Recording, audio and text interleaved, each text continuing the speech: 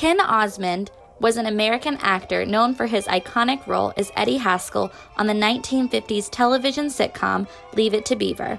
Osmond was born on June 7, 1943, in Glendale, California. Before Ken Osmond landed his iconic role as Eddie Haskell on Leave It to Beaver, he starred in several commercials and began working as an extra in several feature films. Ken Osmond began his acting career as a child actor at the age of four. He was also featured on Good Morning Miss Dove, Wagon Train, Fury, Circus Boy, Lassie, and even an episode on Petticoat Junction. Just an orchid, that's all. I'm getting 50 cents to deliver it to your mom. In 1957, Ken Osmond was 14 years old when he tried out for the role of Wally Cleaver's best and worst friend, Eddie Haskell, on the family sitcom Leave It to Beaver.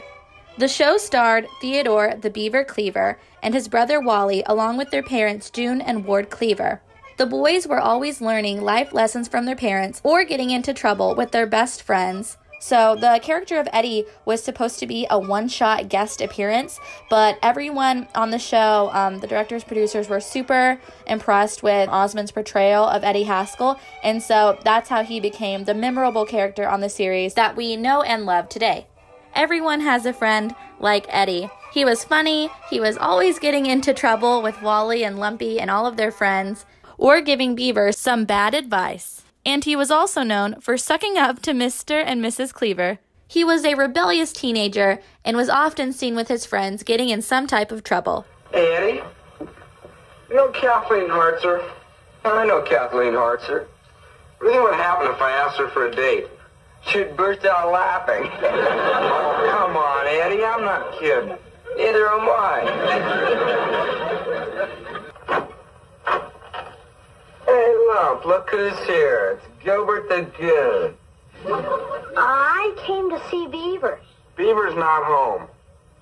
Well, um, is Mrs. Cleaver home? What are you doing, selling Girl Scout cookies?